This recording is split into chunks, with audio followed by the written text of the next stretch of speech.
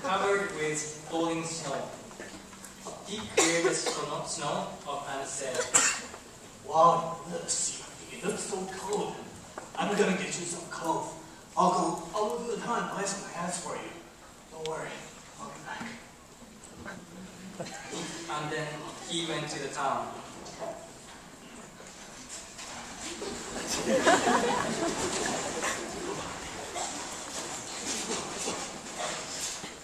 He got a small amount of money by selling some firewood. When he finished selling the firewood, he saw the street judo show. Oh, there it is. There they come.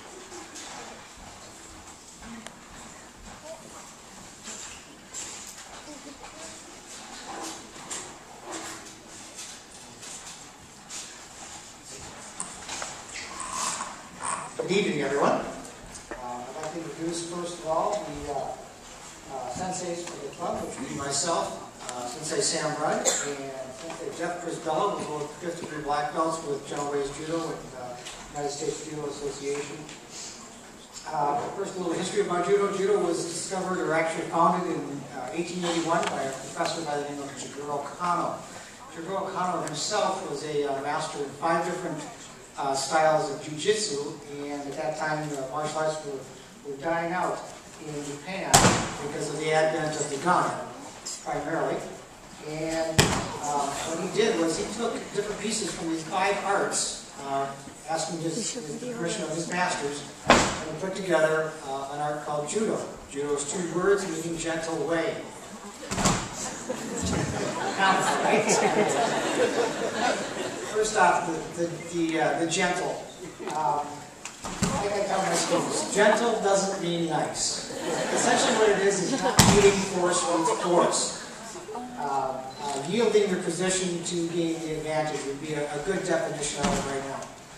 Uh, the way uh, judo was, was devised not only as a martial art and a form of self-defense in combat, but also a way to uh, bring yourself through life uh, by not meeting uh, forces head on, uh, by not uh, you know resisting, having to resist all of the time to win. Right now, they're just demonstrating warming up for some throws. Um, normally, at the beginning of the class, we would, we would line up. Uh, the lead student would call the, the students to attention, and then we would bow in. Bowing is simply a way of letting everybody know that we are ready to fight. We are ready to play. Um, in judo, it's playing. It's not necessarily fighting. Um,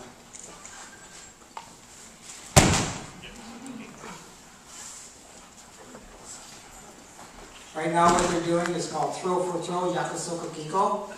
Uh, it's non-resistant throwing. It's a way of practicing uh, the techniques without having to worry about somebody coming after you and trying to throw you at the time. Try to uh, limit your throws to the experience level of uh, your opponent. You're seeing a lot of falling, people are going, you know, ooh, that, that must hurt. Uh, one of the things that judo introduced into the martial arts uh, that was never there before was the art of ukemi. Ukemi is the art of falling, which means essentially that, that we could practice judo absolutely full force, and our opponents can still get back up. When Jigoro Kano first introduced this, it was considered to be magical. Uh, when you take into consideration that most tournaments back then, whether it was straight karate or jujitsu or mixed, um, there was no time limit, and it was the winner was based on, on who was the last person standing. Which meant quite often people didn't live through the tournaments.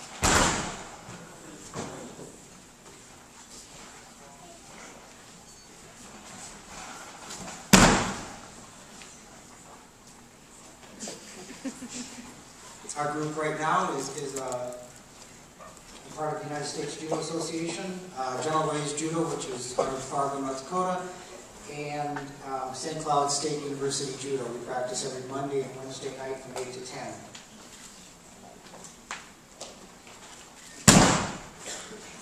As you can see, women are more than welcome to come.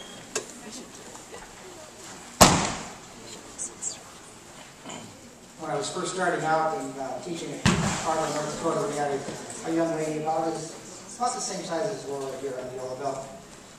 And she, uh, she got up high enough to, uh, actually she did become a black belt and, uh, in class when, when football players would come in and, and lip off about, well, you know, I'm too big to get thrown by anybody, kind of cut her loose on them.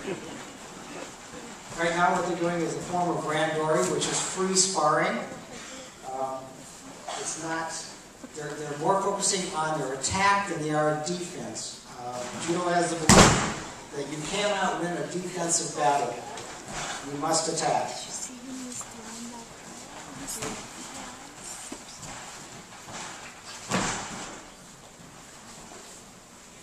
In a competition, there would be, after they went to the mat, there would be mat work where uh, uh, hold downs would be applied, different chokes would be used, arm bars. In the old days, knee locks and- and wrist locks would be used. In modern, modern competitions, uh, wrist lock and the spine lock and the knee locks have been uh, eliminated from competition.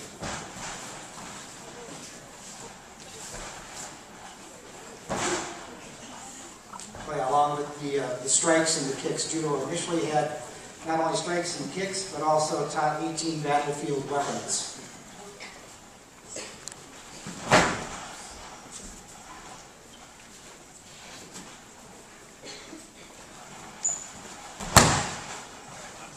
As you can see, the black belt is handily using, taking care of uh, my son there, the brown belt. I'll have to talk to him about that later.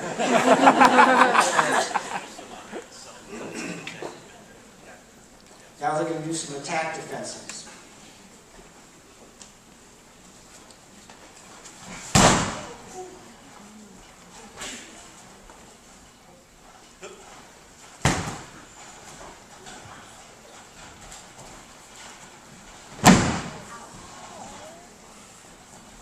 Keep them on the mat with that.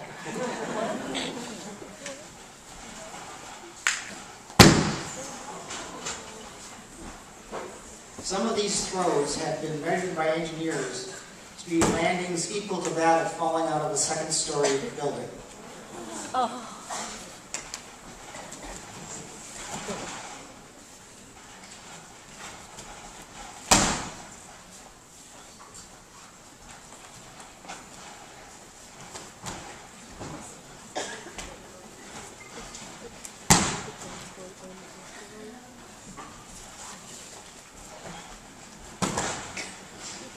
people don't know, as a matter of fact, most of, an awful lot of judo people don't know, but judo was actually first developed to use against multiple attackers. Um, normally what we do is we would have a, what's called a bowling ring. We would put somebody in a circle, and people would come attack them from different angles. And you try to throw this person towards or in front of someone else's attack, so they'd have to go around them to give yourself a little bit more time to defend yourself. With the uh, mat space we have, we're unable to do that right now.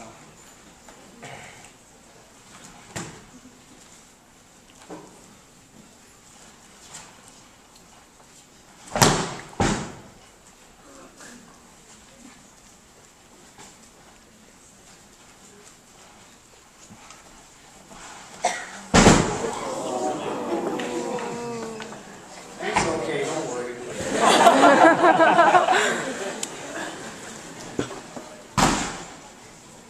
I throw them a lot harder than that.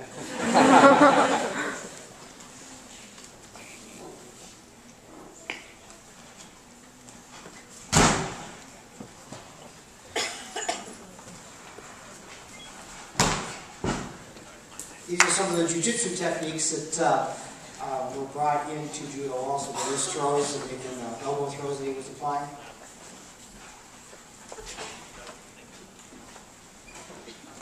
Would like to thank you very much for coming.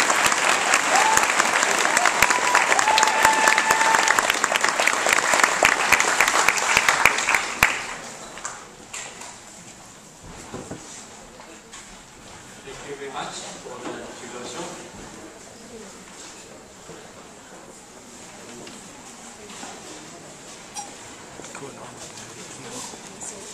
By the time the judo show ended, the sky was already getting dark. He bought some necessities and wanted to buy six straw hats for the six little statues. However, however, he was uh, able to buy only five. On the way home,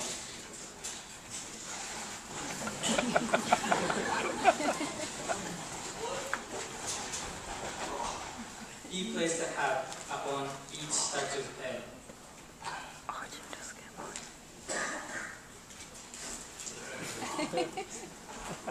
Oh, you're a little bit warmer. This well showed you from the snow. It's so big snow outside.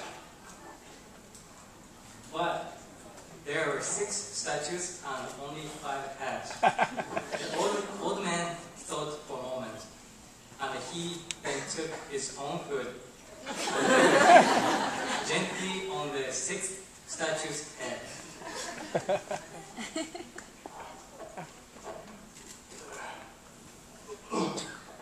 the power of the old man's generosity brought great energy to the statues, which caused them to celebrate joyously. Sadly, though, old man was always a step behind the st- statues. He could never catch them in the act. 行きましょう行きましょう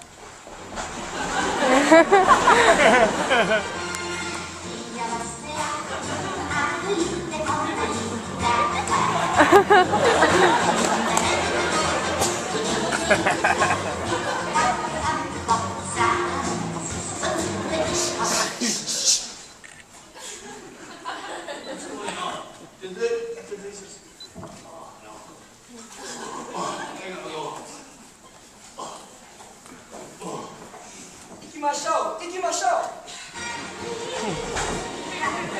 What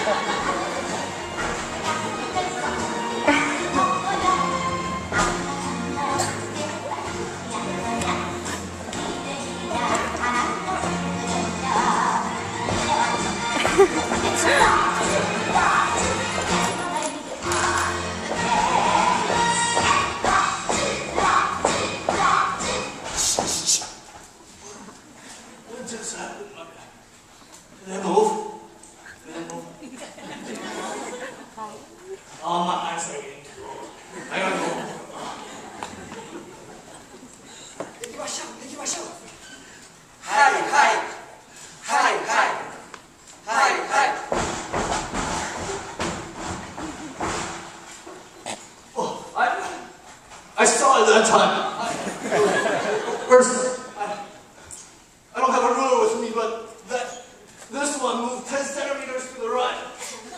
Did that one just look at me?